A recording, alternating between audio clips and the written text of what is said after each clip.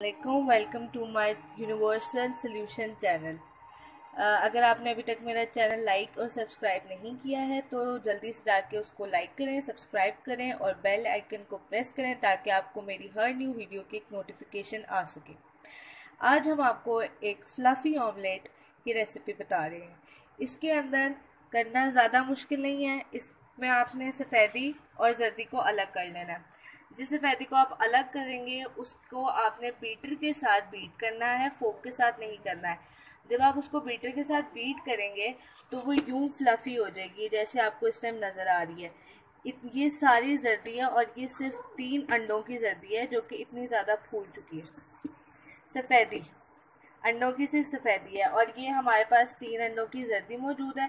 इसको हम अलग से बीट करेंगे और उसके बाद इसमें मसाले ऐड करेंगे।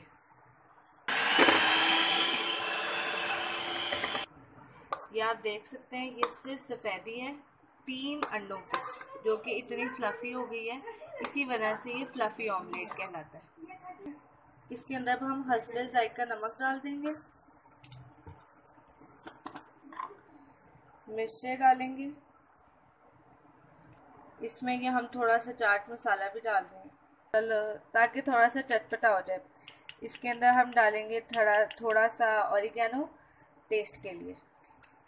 या आप इसको बीट कर लें अच्छे से। या आपका सारा मसाला जो है, वो इसके अंदर मिक्स हो जाए।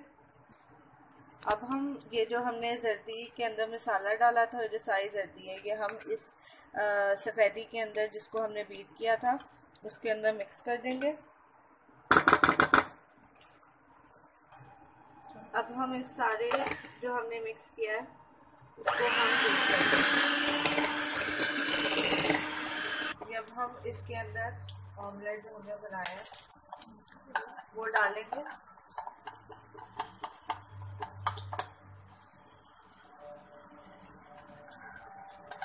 ये आप देख रहे हैं, ये फ्लफ़ी बना है ये ये देख, ये देखें, ये कैसा मोटा सा फ्लफ़ी सा बना है। इसीलिए इसको फ्लफ़ी ऑमलेट कहते हैं। और ये सिर्फ़ जर्दी को अलग बीट करने की वजह से ऐसा बना है। और बस इसको हम एक से दो मिनट और फ्राई करेंगे तो ये तैयार हो जाएगा। और ये हमारा ऑमलेट तैयार हो गया बिल्कुल। इसको आप देख सकते हैं। ये मोटा फ्लफ़ी बना है। ऊपर नीचे से पक चुका है। अब अगर आपको मेरी वीडियो अच्छी लगे तो इसको ज़रूर लाइक और सब्सक्राइब कीजिए मेरे चैनल को।